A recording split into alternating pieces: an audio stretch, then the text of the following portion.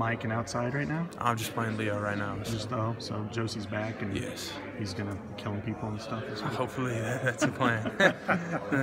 What I imagine he's kind of like taking a dog off a leash, you know, a guard dog. I mean, what's he been like in practice? uh, I mean, his usual self, just how he was before, um, bringing energy, trying to kill people, how he usually is. So. How did it?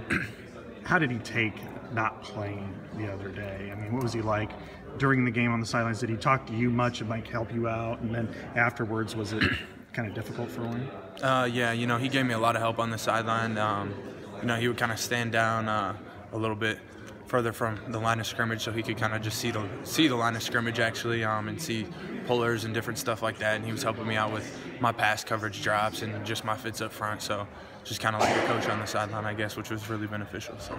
And then afterwards, I can imagine he was just it was probably pretty tough on him because he didn't get a chance to. I mean, yeah, he definitely wants to be out there with us, um, and that's tough. I think, you know, any any person who's a competitor, um, you want to play, and you know, especially after a loss, that's tough because he wants to be out there and he wants to be, you know, fighting with us. So, So uh, where, where's Floyd? Is he uh, in the weight room right now? uh, yeah, he was in the weight room yesterday. I'm not sure what the plan is moving forward. Usually, I kind of take him away because really it's not it's not ours right now, so we have to go out and earn it. Yeah.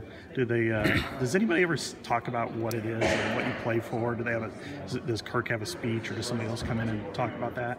Uh, I mean, we don't have anybody else. Outside people come in. Uh, you know, in team meetings, Coach Ferentz, I guess, will address it. But just, um, you know, it's a trophy. It's a, a bordering state. It's um, kind of just like marking our territory, I guess. And it's a rivalry game, and you know, both teams want to win, and so you know, we have to put in the work this week, and hopefully to pay off on the field Saturday. So.